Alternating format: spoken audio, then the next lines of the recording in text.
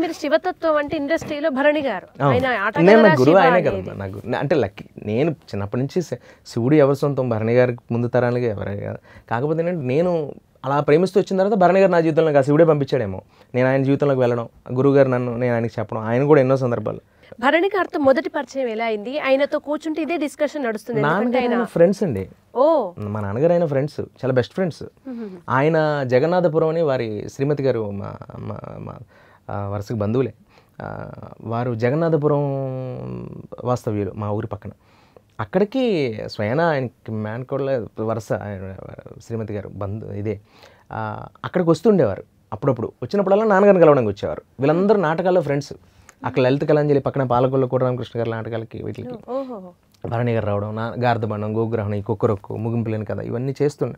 అంటే చూసి చూసి చూసి అని రావడం నేను. జగదేగుడు వస్తుంది షూటింగ్ నుంచి మధ్యలో ఆయన వచ్చి "రా, రెండు రూపాయలు కానీ పాన్ పరాగ్ పట్టరారంటే పరిగెత్తుకుంటూ వెళ్ళి చిరంజీవిని పరిచయం చేస్తారా అని నేను అడిగి అట్లా అంటూ ఉండేవి. అలా అలా గడిపాం అలా అట్లా. భరణి గారితో కూర్చున్నప్పుడు ఇది మీరు వేటూరు గారి కన్నా ముందు రాస్తున్నది శివునిది ఏదైతే ఉందో అది వినిపించి ఆ, తర్వాత తర్వాత వినిపించానండి ఎప్పుడు నేను వెటర్ గారిది ఎప్పుడు కాలేజ్ అయ్యి తర్వాత ఎప్పుడో వినిపించాను. మొన్న రీసెంట్గా నేను రాసేసి పక్కన పెట్టేసాను అంటే పన్నెండు పూర్తయ్యేంత వరకు దేని మీద అవగాహన లేదు నాకు. అంటే అందరూ అనుకుంటాం కానీ ఒక గంట కూర్చుంటారంటే గొప్ప గొప్ప మహానుభావులు సిరివెన్నెల గారు వెటర్ గారు లాంటి వ్యక్తి ఎడం చేత కూడా పాట రాసిన సందర్భాలు ఉన్నాయి. అటు ఆంటే అమలాపురం రాసినా లేకపోతే ఇటు శంకర నాగశరీరాపురం రాసిన అలాగా సిరివెన్నెల గారు వేటూరు గారు లాంటి వాళ్ళ మధ్యలో ఏదైనా రాయాలంటే వాళ్ళంటి వాళ్ళని ఇప్పుడు యాక్టింగ్లో చిరంజీవి గారు ఎలా ఇన్స్పిరేషన్ మనకు ఒక పాట మాట రాయాలంటే ఇలాంటి వాళ్ళు ఆటోమేటిక్గా మనకి ఇన్స్పిరేషన్ అవుతూ ఉంటారు. నేను అలా రాసే తత్వంలో ఒక ఒక లైన్ రాసి ఇది ఇంత స్థాయిలో మొదలు పెట్టేసాను టేక్ ఆఫ్ దీన్ని నేను ఫినిష్ చేయగలనా అని చెప్పని ఇంకోటేవో ఇంకా మీకు తెలియని ఏవో రాసినవి ఆయనకి నేను వినిపించాలని ప్రయత్నించాను ఆయన అసలు. రాసి అని పెట్టేశారు అంతే. బాబా బాబా ఆ మాట చాలు ఇంకా.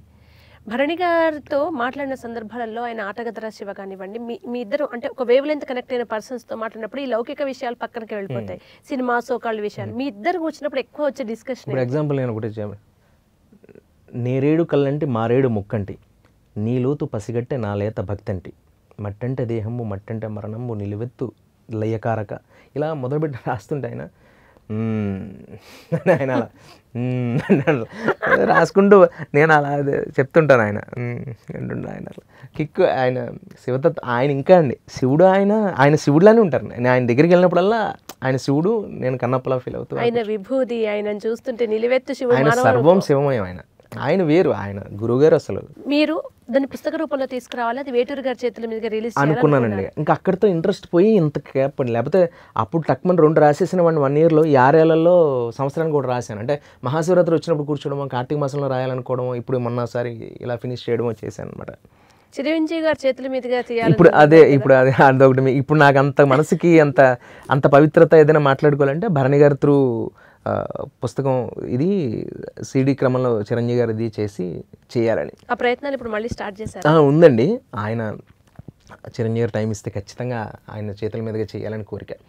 ఏడు ఎనిమిదిలో ఉన్నాను. ఇంకా నాలుగైదు రాయాలిగా. నాలుగైదు సంవత్సరాలు పడుతుందా నాలుగు నెలలు పడుతుందో తెలియదు ఫస్ట్ ఫినిష్ అయిన తర్వాత మాట్లాడదామని ఆగాను.